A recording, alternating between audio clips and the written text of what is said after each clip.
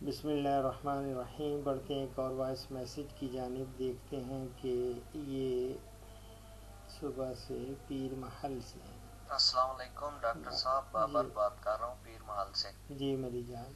सबसे पहले तो आपका शुक्रिया कि आप जो हमारे लिए वक्त निकालते हैं। बल्कि निकालते नहीं आप तो सारा वक्त ही हमें देते हैं। जी। क्योंकि आपको न सिर्फ़ पाकिस्तान से बल्कि पूरी दुनिया से लोग कॉलिंग करते हैं।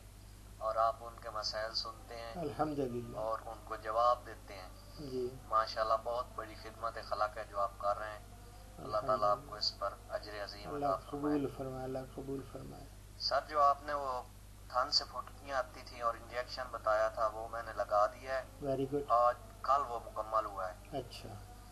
और थन आपकी दुआ से और आपकी दवा से। और अल्लाह के फजल से पहले से बहुत बेहतर है। बेहतर रोक गई हैं।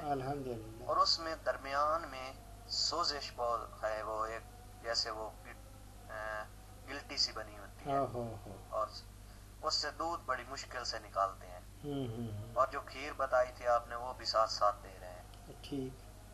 तो उस सोजिश के हल के लिए कोई और दवा उसको देनी है या बस यही जो एंटीबायोटिक का कोर्स करवा दिया है जो आपने इंजेक्शन बचाया था बताया था वही ठीक है थैंक यू नहीं, ये जो कोर्स करवाया था, इसको फर्दर आप थोड़ा दो दिन और कंटिन्यू रखें। हो सकता है ये भी चार दिन ही करना पड़े, लेकिन इन ताला दो दिन और करें, मुकम्मल तब इलाज इसका मुकम्मल हो जाएगा। इस तरह के ऑलरेडी केसेस मेरे पास आए हैं, सराय आलमगीर पे भी था, वो कंप्लीट बल्कि ठीक तभी हुई थी, उसको हमने थोड़ा एक्सटेंड किया था, जो एंटीबायोटिक का कोर्स लेकिन खीर साथ ज़रूर देते रहना है।